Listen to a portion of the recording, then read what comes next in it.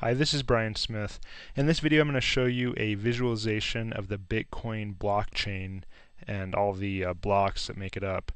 Basically each block in the Bitcoin blockchain is a collection of transactions and every uh, around every 10 minutes a miner um, produces a new block um, and basically the block is a uh, it's solved when the hash of all the transactions um, meets a difficulty requirement.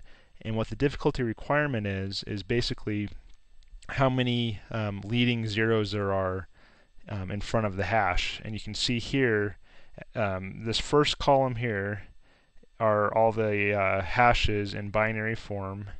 Over here, this is the height of the blockchain, and then this is the date um, that the block was uh, mined. And as you can see, as time goes on, there's more and more leading zeros. And this is because as the difficulty increases, um, it's uh, due to the increase in CPU power of the Bitcoin network, um, the difficulty goes up and miners have to uh, solve a basically a harder problem to uh, solve the um, solve that block. And basically each um, hash, it's an SHA 256 sum hash, and the reason why these are so difficult to generate is because uh, a hash is essentially um, the output of a hash is essentially random between zeros and ones, and so the odds of getting a hash with this many um, leading zeros takes a massive amount of compu compute power.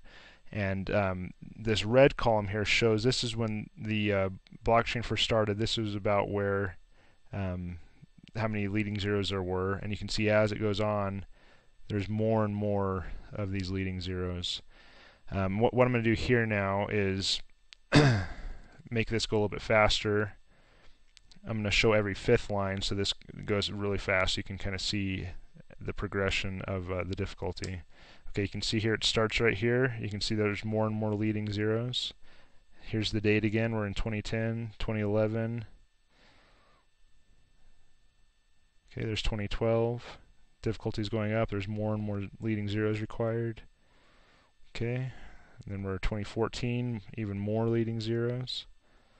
2015 and 2016.